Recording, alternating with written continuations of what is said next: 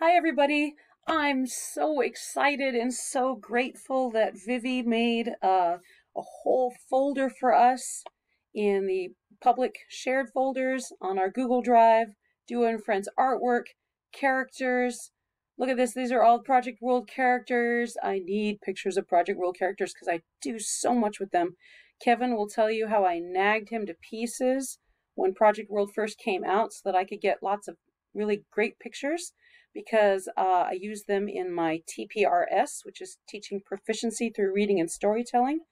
And I've already talked about that. Let me talk about some another thing I've been doing with them.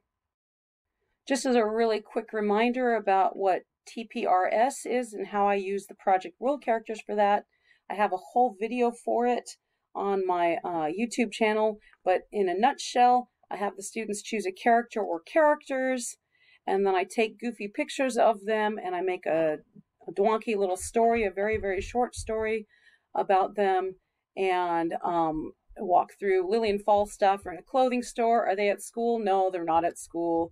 Are they, um, come on, my thing's are not working. Are they in the movie theater? No, they're not in the movie theater. Um, Falstaff says, I love these clothes. Does he love calculators? No, he doesn't love calculators. Does he love sofas? No, he doesn't love sofas. So just walk them through uh, basically vocabulary. But I've also been doing this other thing that is super fun. Oh my gosh, it's been so much fun. So I call six random students up to the board. Now I have a friend librarian make friends with your local librarian. That's like the best piece of advice I can give you. And I said to her, I need sound effects. Help me find a sound effect library.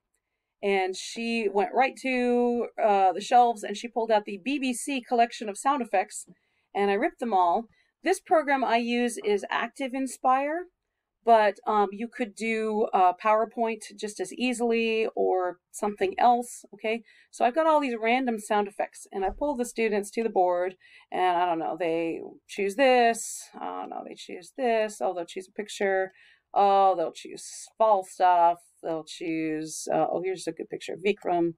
Um, what do I have here? Oh, duo as Elsa, okay. And they choose another sound effect. Let's get this one, okay. Then I play it.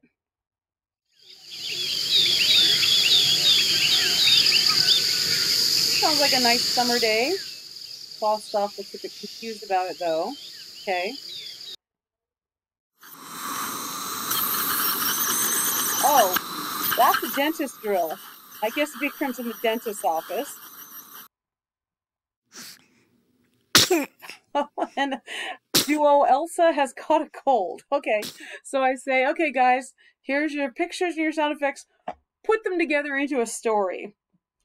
So uh, maybe I don't know. It's a beautiful summer day, and Falstaff is uh, walking around, but then he hears Vikram in pain at the dentist's office.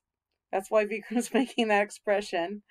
And um, uh, I guess Elsa knows that if it's cold and not summer, then maybe Vikram can get out of his dental appointment somehow. So whatever the students want, however crazy it is, oh, this has been so much fun. They're writing in the target language, and then you can have them share with each other. So then they're speaking in the target language. You can have them present to the class. So then you get that ACTFL component of presentation. Uh, there's so much you can do with this. Uh, it's just uh, an idea I had for how I use the Project World characters. So please tell me all the ideas you have because I'm just having a blast with Project World. So let me know your ideas.